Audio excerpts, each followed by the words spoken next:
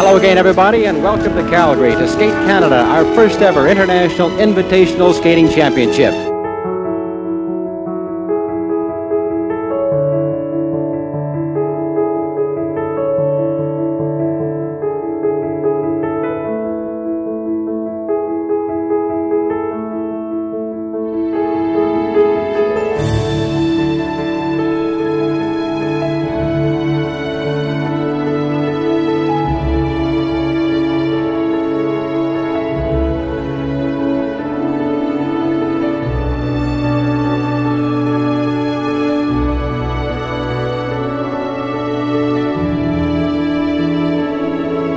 I think you'll find lots of action in a short period of time. It'll be very exciting.